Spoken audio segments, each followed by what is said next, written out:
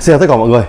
Trên tay của mình đây đang là hai chiếc mũ Rock 01 Nguyên zin của cả hai chiếc mũ này đều là màu đen bóng.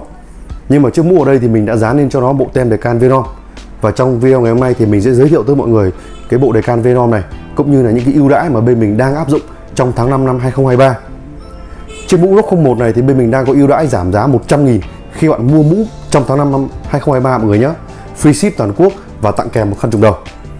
Các bạn cùng nhìn qua chiếc mũ Rock 01 đi trong tầm giá khoảng 1 triệu thì đây là chiếc mũ một kính tốt nhất rồi. Mình sẽ để nó sang một bên nhé. Và chúng ta sẽ cùng nhau quan tâm tới chiếc mũ Rock 01 màu đen bóng, nhưng đã lên bộ tem đề can Velom ở đây. Bộ tem đề can Velom này bên mình đang bán lẻ với giá là 200 nghìn. Nhưng khi các bạn mua cùng mũ bên mình mình sẽ giảm cho mọi người 70% chỉ còn có 60 nghìn và miễn phí công dán. Đấy, các bạn cùng xem nhé.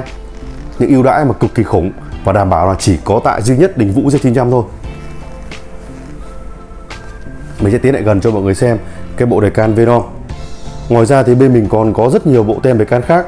Các bạn cứ truy cập vào trang web đỉnh vũ z900.com và phần tem đề can đấy các bạn xem cho thoải mái. Hoặc các bạn nhắn tin cho mình qua à, Zalo uh, 0354 541 865 mình sẽ tư vấn chi tiết cho mọi người. Chiếc vũ Rock 01 này thì mình đã review trên kênh YouTube của mình rất là nhiều rồi. Các bạn cùng xem nhé hôm nay chỉ giới thiệu cho mọi người bộ tem đề ca này thôi. Hôm sau sẽ giới thiệu cho mọi người những bộ tem khác.